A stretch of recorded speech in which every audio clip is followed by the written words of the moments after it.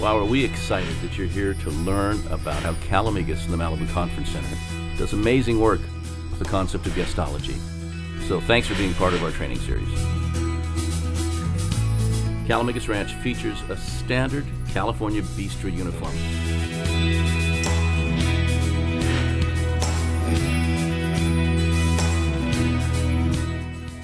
This is the uniform you'll be wearing at the restaurant and for all events unless specified differently in your assignment email.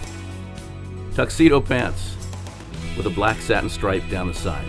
Clean, not goofed up, not rolled around with dirt and stuff on it. Just tuxedo pants with a black satin stripe down the side. We ask the women to also wear a men's business shirt. It should be white, buttoned down the front, starched with no collar buttons. There should be a crease down the center of each sleeve. Take a look, make sure that crease is there.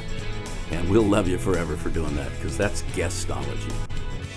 A clean, classy black vest. What's a black vest? It's what you have on. Look in the mirror. There you got it. That's it. Is it clean? Is it classy? Well, you're classy, you wouldn't be working for us. So we're thrilled to have you here and being part of the Malibu Conference Center and Calamigos team.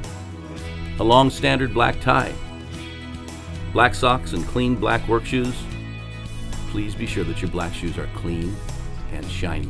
Now, if you can figure out a way to make tennis shoes shiny, that's cool. But we've never seen anybody pull that off. So when we're talking about black shoes that are clean and shiny, you know what we're after.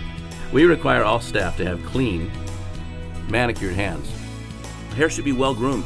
If your hair is long, we ask that you pull it back in a low ponytail. We ask that you use minimal perfume. And the reason for that is we have people with allergies who don't like the way you smell. If you're wearing earrings, please make sure they're studs only. And uh, if you get lucky, take one of those home with you. And a big smile, which is the Calamigos Ranch trademark.